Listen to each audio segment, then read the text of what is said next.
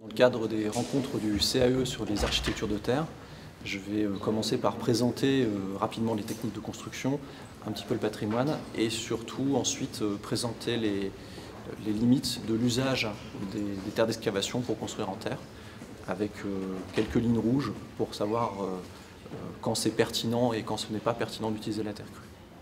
Et moi, je vais vous présenter les usages du matériau de terre et euh, les dynamiques de filière autour de la construction terre crue. Moi, je vais vous présenter quelques retours d'expérience sur des chantiers de construction en terre crue, plus ou moins expérimentaux.